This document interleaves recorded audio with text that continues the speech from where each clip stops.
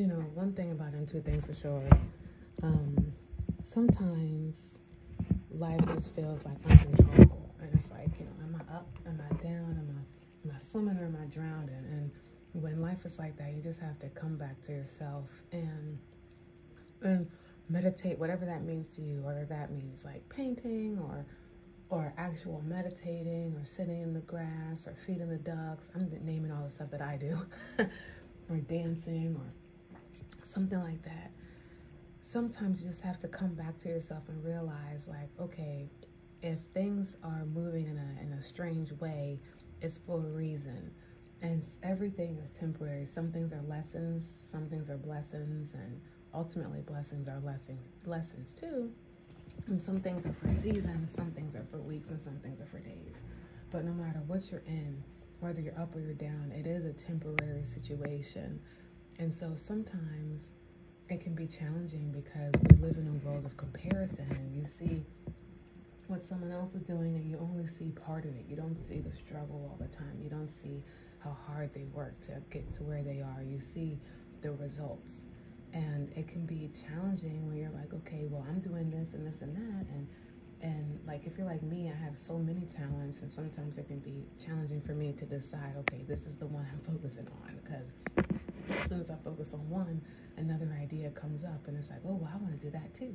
I want to do that too. I want to do this. I want to do that. And um, ultimately, just have to keep going, you know, and you just have to keep believing in yourself because one day will be your day, maybe. but we know for a fact if you quit and if you give up, it'll never be your day. And and sometimes you have to like force yourself, like sometimes like, well, I tried everything, I did everything, and it's like, have you really done everything? Because every time I say that I have done everything, I end up finding more stuff that there is to do, and you're never really done doing stuff. You're never really done accomplishing. You're never really done learning. You're never really done trying new things, and sometimes you just have to make the best out of whatever situation you have.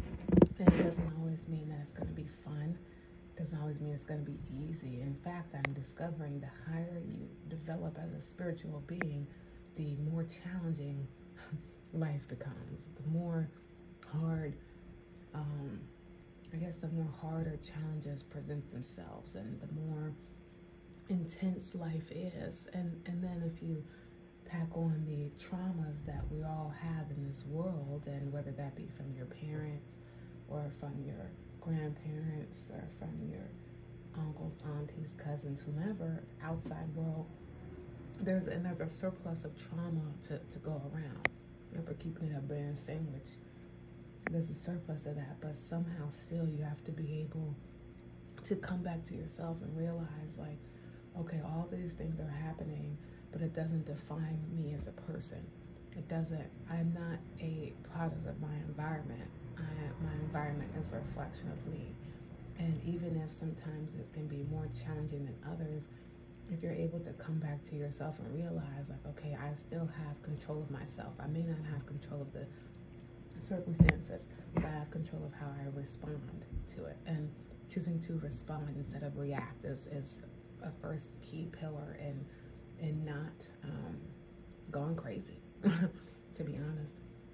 And I think like sometimes it's easy to compare and you can look to the left and say, oh, this person's on vacations every day, but you don't know if they're getting pooed on or not, so there's that. But like, you want to live this life that's not even necessarily real because even these celebrities, they're not actually living the lives that they present. You know, Hollywood, the whole purpose is to present an illusion, and we really don't know what goes on behind closed doors.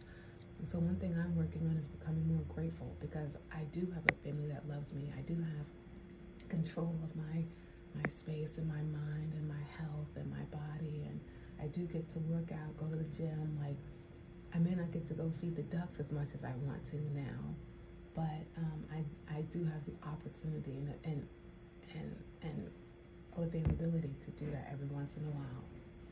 Um, and is everything the way I want it to be picture perfect? No. But I've learned that a lot of stuff that I think I want, I don't actually want. Because when I get it, it becomes a nightmare.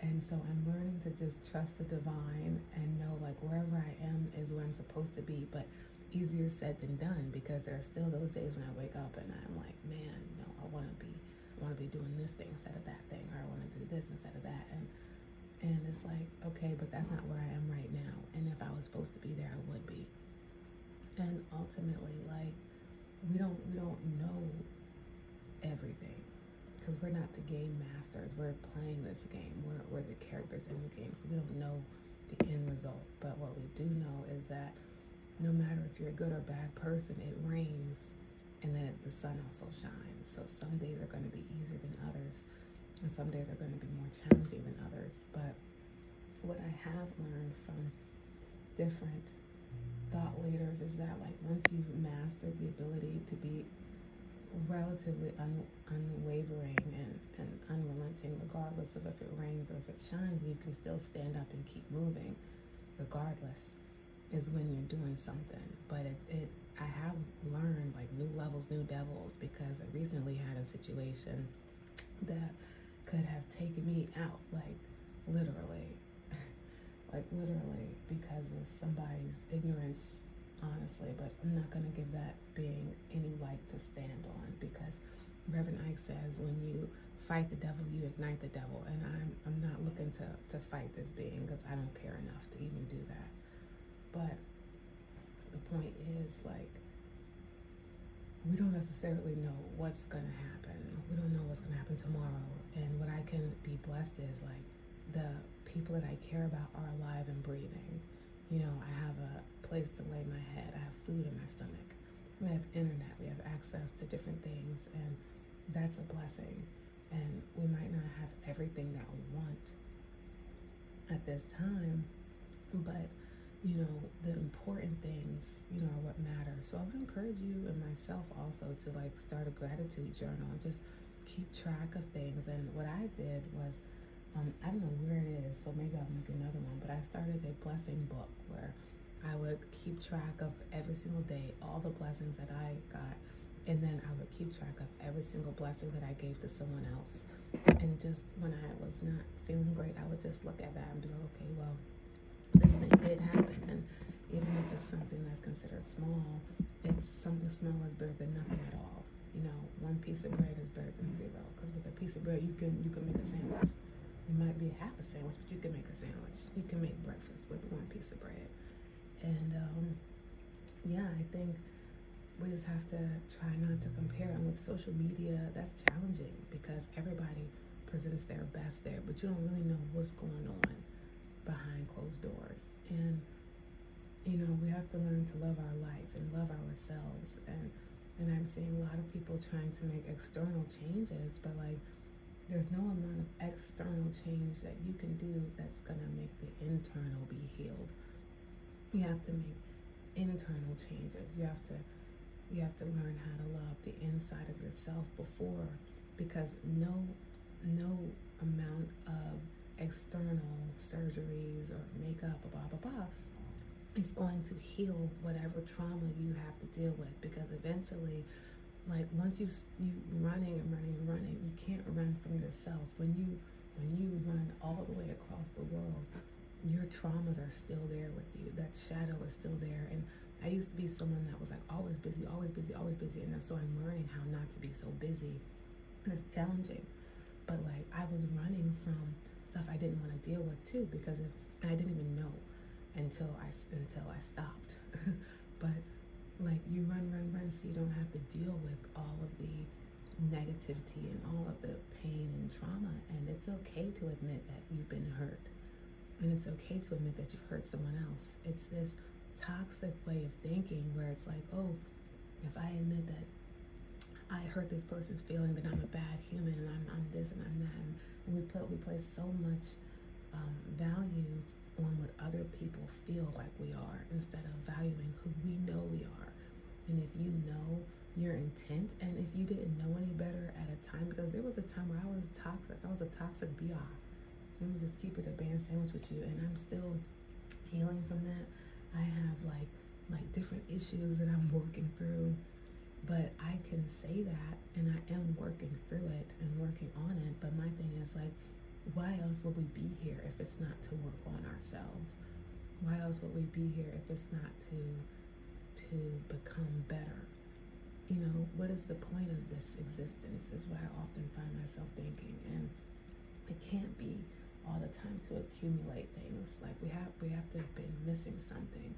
I think accumulation is key, but I also feel like um, learning to be better, learning to do better, learning to forgive. And I've had to really, really, really learn how to forgive because someone in particular like stabbed me in the back and like raped me, like raped the knife through my back and like X'd me all up for no reason. And it was, it was complete, I was blindsided and it broke my heart because, you know, I didn't know someone could, could be so, so fake and vile and just, you know, I was, I was totally grossly not prepared for this situation. Um, but I'm still here and I'm thriving, you know, I'm happy, I'm whole, I'm healthy, I am creative again. And when I was so broken that I didn't even, I was like painting stuff and I didn't even like what I was creating. And I always go through the phase when I first start painting something where I don't like it and then I end up loving it. But it was just like I was just going through the motions because I was so broken behind this monstrosity, monstrosity attack for no reason. And um, ultimately, though, I came to, and I'm still dealing with it because it was a family member. And you know, you never really expect a family member to like turn on you and stab you in the back. but it happened, and like things happen all the time. But ultimately, I'm still here. I'm still alive you know, I still have breath in my nostrils. I still have imagination in my spirit. And, you know, I'm still being called and led by the divine to do things. And ultimately, we have to be okay with the fact that not everything is going to be the way we want it to be. We have to be okay with the fact that some people are miserable and misery loves company. And so if, if someone wants you to be a certain kind of way, and do a certain kind of thing and they attack you, you have to be able to bounce back from that because the world is changing, but also as you level up, the challenges become more intense. And so you have to be able to be able to deal with that. You have to be able to be able to take that, heal from that, and then not be bitter.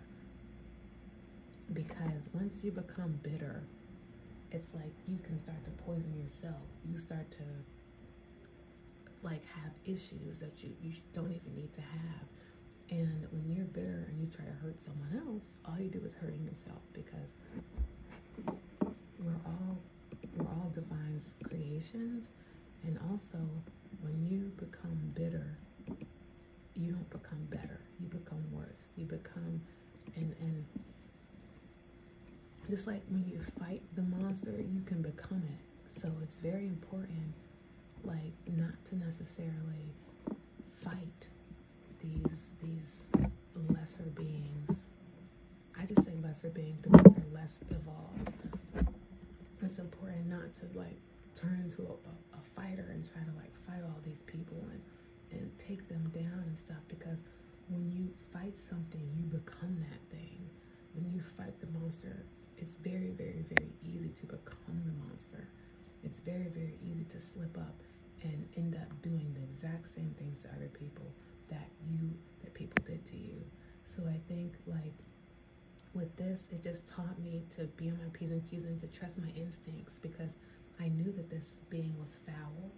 I knew that, that everyone else that this being comes into in reaction with have a negative experience with this being, but I thought, you know, maybe, you know, you know, not me. It, it couldn't happen to me too, but it did. and um, and ultimately, I'm still okay. And that's what matters. So I learned that I'm stronger than I ever thought I was. And by being broken to the point where like Humpty Dumpty fell and and the shell came off, and I felt like a raw chicken that was prematurely hatched, and it was it was just a horrible experience.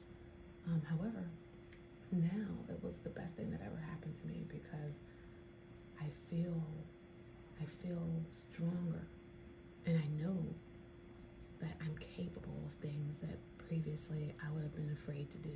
I would have been like, oh my gosh, this is, you know what I mean? But now I know how strong I am. And sometimes you have to be broken to your rawest core, your rawest form of self, so that you can be, you cannot necessarily be built back up, but so that you can know that you can handle it. And that you know you can get back up. You can keep going.